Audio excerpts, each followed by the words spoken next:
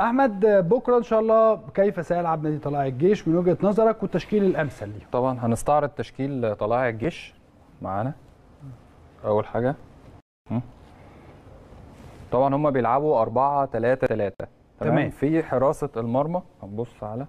أول حاجة طبعا محمد بسام في حراسة المرمى. الأربعة اللي ورا حسن مجدي back right أحمد علاء مساك يمين وإسلام جمال مساك ناحية الجبهه اليسرى وعلي الفيل بيلعب back شمال. علي أحمد علاء كان بيتجوز امبارح هيلعب آه، بكرة؟ فهو هو غالبا هيدخل القائمه لو ما دخلش هيدخل خالد سطوحي. okay. مكانه. لكن حتة ال back الشمال علي الفيل دي عاملة له مشكلة عاملة له أزمة في دماغ كابتن عبد الحميد بسيوني في المباراة الأخيرة. حتى هو راح مغير في ما بين الشوطين وودى جاب أحمد زولة ناحية back الشمال فعملت له أزمة. فبتحي... فدي أعتقد إن دي الثغرة اللي نقدر نستغلها. بكرة. آه خسر أربعة بسبب برضو التغيير دي فأنت تقدر. آه تقدر إن أنت تستغل الجبهة اليسرى لفريق طلائع الجيش بكرة مهمة جدا. نيجي بقى للثلاثه المهمين قوي اللي في وسط الملعب بنفس الشكل ده. كلنا طبعا متوقعين إن مهند لاشين هو اللعيب ال box to box هو اللي بيزيد. كابتن عبد الحميد بسيوني لا بيلعب بمهند لاشين قدام الاثنين المساكين عشان كورته حلوة. بينزل يسقط عشان يعمل تمرير طولي والاثنين اللي قدامه السيسي ومصطفى جمال. الاثنين دول تحديدا نكمل بس الأول طريقة اللعب برضو. أحمد سمير جناح يمين و ناصر منسي ناحية الشمال وعمرو جمال بيلعب كراس حربة. أيوه. تمام؟ نيجي نبص ليه ميزة طلائع الجيش طبعا. أدي أهو نكمل بقية التشكيلة برضو. أهو. أحمد سمير و... أحمد سمير وناصر منسي وعمرو جمال. توظيفه لناصر منسي اللي هو في الأصل أصلا راس حربة.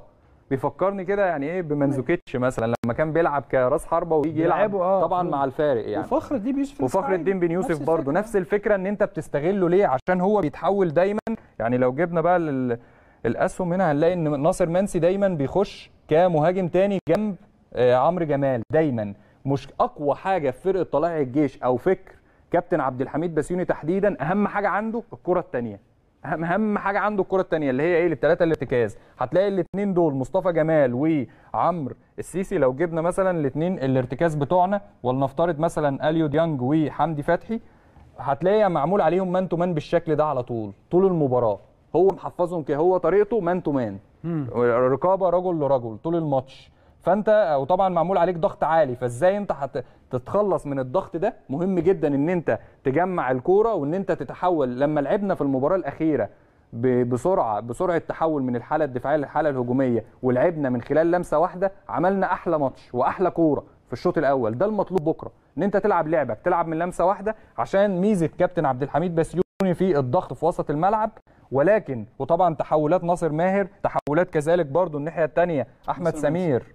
نفس الكلام أحمد سمير بيخش للعمق وبيشوط عنده الشوطة اللي هي ال R 2 على طول. ناصر منسي بيكمل جنب عمرو جمال كمهاجم تاني عشان المفروض إن ال back left كان بيطير ولكن هو عنده مشاكل في الجبهة اليسرى. حسن مجدي مميز جدا إن هو بيتقدم وبيعمل العرضيات. لكن خطورة طلائع الجيش بشوفها في وسط ملعبهم وسط ملعب قوي جدا بيشتغلوا بدني كتير جدا. اقوي هي المباراة شايفها بكرة بدني صراع بدني من الدرجة الأولى. أكتر من فني. هو صراع لأن طلائع الجيش ميزتهم بدنيا.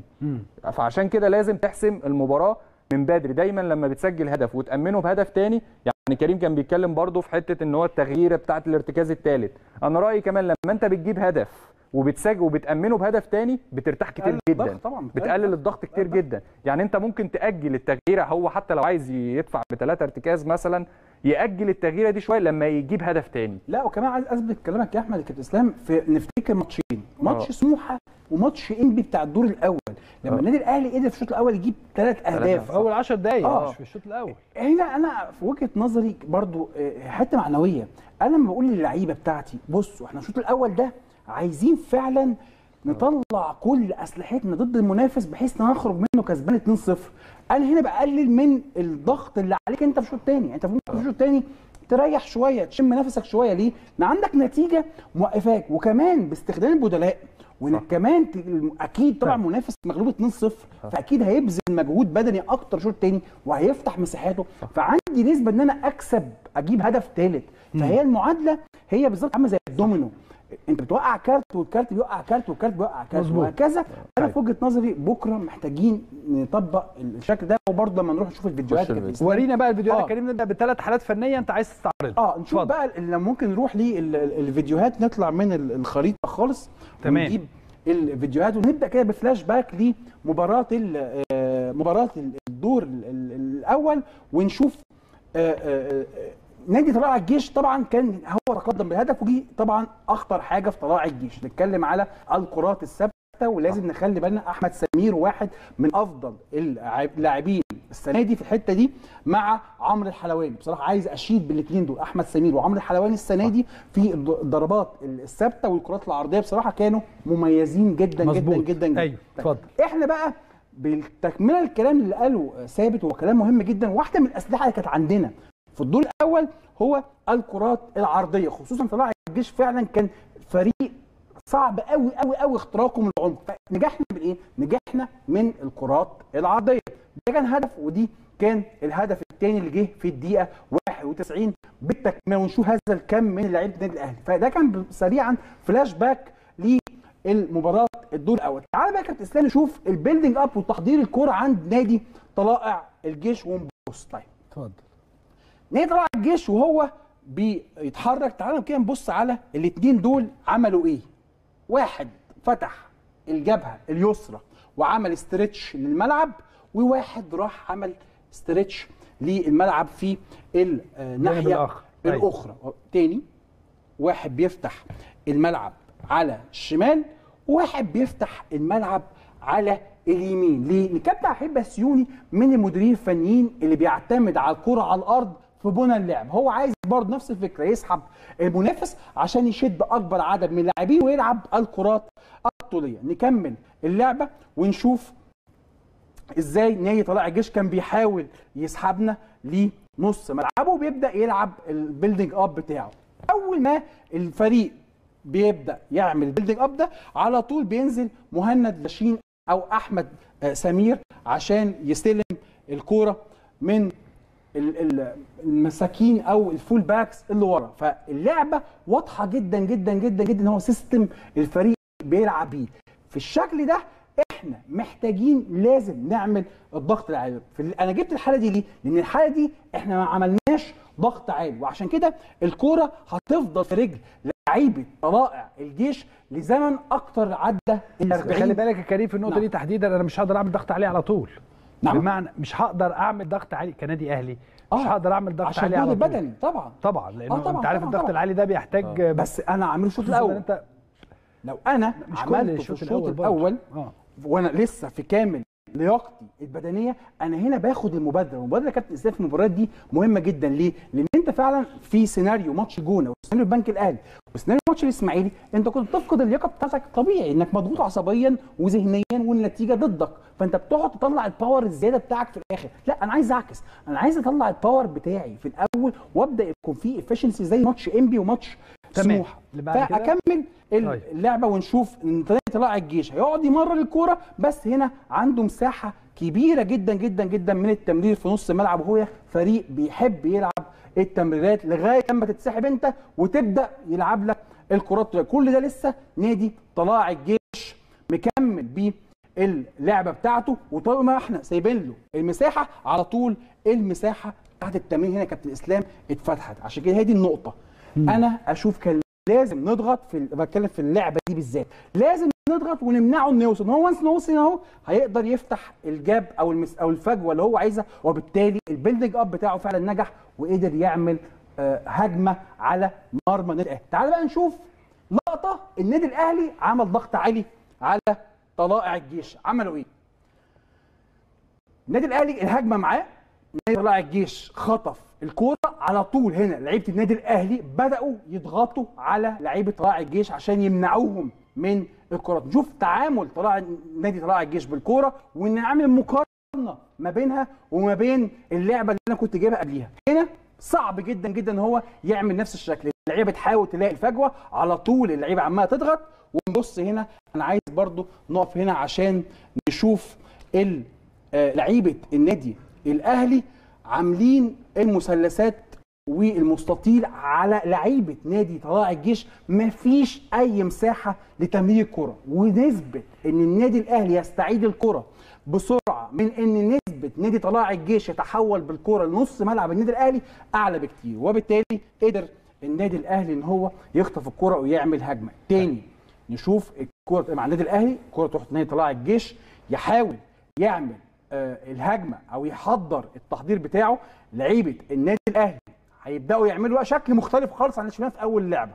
اضغط وامنعه إن هو يطلع بالكورة على طول هتلاقي النادي الأهلي بيستعيد الكورة بسرعة. فأنا شايف المثل ال- في الكورتين الأخيرتين دول هو اللي إحنا عايزين يجب أن. يتم تطبيقه. بالظبط إن شاء الله يتم تطبيقه عن المثل اللي أنا جبته في اللقطة الأولى. في مثل أقرب أو أكثر أريحية. نعم. إن أنا ممكن أقرب المسافات من بعض. بمعنى طبعا. إن أنا لما أحس إن أنا تعبان كفريق أيوه. الفريق كله بيرجع يلعب في 30 40 ياردة في نص ملعبه أكتر يعني في ثلث ملعبه. صحيح. ويعتمد على ده في حالة التعب لأن في الفترة دي فعلا آه، ممكن تلاقي آه، تعب واضح جدا على وطبعا الحاجات اللي أنا جايبها يا كابتن إسلام وكمان كلامي لا، أنا أقصد- بتكلم آه طبعا تانية فاهم، يعني. أنا فكرة تانية بتكلم على الشوط. الأول طبعا. أنا آه. بتكلم على الشوط الأول ليه؟ لأن أنا بتكلم عن مبادره دايما المبادرة هي اللي بتريح الناس يا ثابت المبادرة هي اللي بتريحنا أنا طيب. كلعيبه وجمهور. وكمان اللعيبة نفسها حاسة بالجمهور. صح. لأن اللعيبة مثلا إحنا النادي الاسماعيلي أحرز فينا هدف التعادل في الدقيقة 64 كان معانا وقت وفعلا إحنا عملنا كم هائل من الهجمات والأمانة. ربنا سبحانه وتعالى ما كانش كاتب لنا. قصه محسن دي بصراحة آه. تؤكد لك. أنا دخلت وطلعت آه لا مستحيل مستحيل. وانفراد طاهر برضه. لا بتاع محسن دي مستحيلة. دي راحت جون. راح جول دي راحت كلنا شايفينها كلنا نطينا يعني. كلنا مش كاتب. خبطنا. مفيش في- مشكلة. بس. طيب اتفضل يا أحمد أنت عندك أربع. حالات. آه الحالات الأولانيين هنتكلم من الأول على كمل بس الفيديوهات. أول حالة معايا أهو. بسم الله الرحمن الرحيم. بص حضرتك في حاجة يعني دور كده خفي لعلي معلول في المباراتين الأخيرين. آه. نقف مين اللي بيلعب ال- الكرة ديت؟ علي. علي معلول. ده الهدف اللي جه في شباك النادي الإسماعيلي. هنا ده ال back تحوله لحاجة اسمها left false back يعني إيه؟ يعني ال back بيتحول ك آه، لاعب ارتكاز أثناء بناء الهجمة. فده هل ده دور تعليمات من موسيماني ولا براعة من معلول؟ ده اللي إحنا يعني مش ما نعرف ما نقدرش نقيم بس في كلا الحالتين الاثنين كويسين سواء تعليمات من موسيماني أو براعة لاعب شخصية لاعب من علي معلول طبعا بيعمل التمرير الطولي أكثر من رائع لقفشة اللي بيتحرك دايما ناحية اليمين. مثلا بيلعبها ليه محمد شريف سجل هدف. هل الكورة دي جت صدفة؟ لا الكورة دي مش صدفة. عشان كده قلت لحضرتك لو كملنا برضو الحالة الثانية هنلاقي نفس اللعبة في المباراة الأخيرة أهي. برضو أكرم توفيق بيلعب. بنكمل لعمرو السولية. بص لما بنلعب من لمسه واحدة بيبقى شكلنا عامل إزاي؟ بص مين ده اللي بيعمل الكورة دي؟ ده علي معلول. برضو نعمل عليه ال spot هو نفس اللعبة بالظبط. هي المفروض علي معلول يبقى على الطرف. علي معلول جاي هنا تحول ليه false back وبيعمل التمريرة الطولية قدام. أهو. نكمل. هنلاقيه بيعمل التمريرة الطولية لمين؟ لقفشة اللي متحرك برضو ناحية الجبهه اليمين. ليه بواليا اللي بيقطع؟ طبعا بواليا قطع حلو جدا ولكن ما كانش فيه توفيق في لنهاية الفرصة. فالكورة دي متكررة وواضح إن هي قد تكون تعليمات من موسيماني إن معلول بيغطي بيخش كارتكاز ثالث أثناء بناء الهجمة أو براعة برضو أو شخصية قائد من علي معلول نجم كبير جدا. نعم. دي أول حالتين طبعا ده عن النادي الأهلي. في حاجة مهمة جدا في مباراة بكرة وأخطر حاجة علينا الضربات الثابتة زي ما كريم قال في الضربات الركنية كمان ناصر منسي. ناصر أوكي. منسي في مباراة سموحة فظيع. عمل واحدة براسه في القائم. حاجة يعني بص ده الهدف طبعا اللي دخل فينا في شباك في نهائي كأس مصر. الكره اهي اتلعبت ناصر منسي اتحرك يعني سرق المدافعين وراح حاططها براسه. هو مميز قوي بالالتحامات الهوائية. صحيح. فمهم جدا جدا جدا ان إحنا لازم مين اللي هيمسك بكرة ناصر منسي في غياب بدر بنون؟ نعم. ده السؤال. يعني لازم بكرة لازم نسأل سؤال نف... يعني لنفسنا النهارده مين اللي هيمسك بكرة ناصر منسي؟ لازم موسيماني يكون محدد اللي هيراقب ناصر منسي مين في الألعاب؟ ولازم يتعمل عليه man to man ناصر منسي وعمرو جمال. ناصر م- ناصر منسي لو فعلا لو بدأ المباراة بكرة حتى even اللي هو على ال formation على الطرف أكيد مليون في لا المية لا لا تعليمات. هو ما ده لوحده. تلاقيه آه. بيخش لجوه. طب. هو مع يعني هو هو غالبا مليون المية هو هيبدأ يعني لأن هو برضه ناصر منسي واحد من أهم الأسلحة الموجودة في فريق طلائع الجيش. بس ما تنساش برضو يا ثابت إن راجع لنادي طلائع الجيش بكرة عمرو مرعي. مع عمرو آه. مرعي كان موقوف في ماتش سموحه هو ومحمد ناصر. طبعا. خلصوا الإيقاف وهيرجعوا في ماتش بكرة. نكمل؟ برضو الحالة دي الحالة الثالثه الحالة الرابعة بقى ب- ب- كذا حالة في بعض بتبين الضغط في وسط الملعب اللي هم بيعملوه ودي يعني تعتبر بشوفها يعني اخطر حاجة في الفرقه عندهم. بص نكمل. أدي بناء الهجمة عندنا. أهو. بص بص بص الكرة أول ما هتتقطع فين؟ هتتقطع في وسط الملعب. نرجع ثواني. أهو. ده كان في بداية المباراة. عملوا علينا ضغط آه عملوا علينا. ضغط بس. أول الماتش آه اهي الكرة اتقطعت في وسط الملعب و ارتدت ليهم. تمام؟ الحالة الثانية والثالثه الثالثه بقى أحلى واحدة فيهم. يعني شوف الثانية نكمل برضو اللعبة الثانية بص الضغط اللي هم عاملينه هو م... هو تعليماته ليهم إن هو عايز يقطع الكرة دايما استعادة الكرة الثانية الضغط في وسط الملعب. دي ميزة طلائع الجيش. عشان كده إحنا لازم بكرة نلعب من إيه؟ من لمسة واحدة. لعبنا لما لعبنا في المباراة اللي فاتت من لمسة واحدة كان شكلنا حلو جدا. الكرة دي قطعوا فيها الكوره وده بقى هنا تحوله نعم. بسرعة ليه؟ من الحالة الدفاعية للحالة الهجومية. بص اهي نفس الكره برده في بناء الهجمة. في ضغط في وسط الملعب. بص بيجري عليك إزاي؟ بيمنعك ان انت تبني الهجمة. كمل. بص ادي الكورة اهي. وخدها. والمسافات بص قريبة بص بص, المسافات بص أول ما. اتقطعت أحمد سمير قاطع فين؟ قاطع. في المساحة اللي ما بين المساك وال back. دي مهمة جدا. يعني دي مهمة جدا إن إحنا نركز عليها بكرة إن هو قطع في المساحة ما بين المساك الأيسر وال back الأيسر. بص اتلعبت عمرو جمال قطع لأحمد سمير وطبعا الشناوي شال الكرة دي.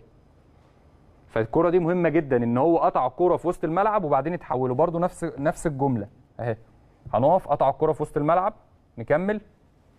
سرعة التحول برده من الحالة الدفاعية للحالة الهجومية. بص بص الضغط اللي في وسط الملعب. عشان كده بقول لحضرتك بكرة المباراة صراع بدني أكتر من فني. بكرة المباراة بص بص الضغط في وسط الملعب. مش هيغير التكتيك آه هيلعب بيضغط وبيتحول من الحالة الدفاعية للحالة الهجومية. كل الكور إن هو بيضغط في وسط الملعب ويحاول إن هو يتحول من الحالة الدفاعية للحالة الهجومية. عموما هنشوف بكرة كيف ستسير هذه المباراة. أنا بشكركم. شكرا جزيلا كريم شكراً سعيد. وأحمد ثابت. أنا بشكركم.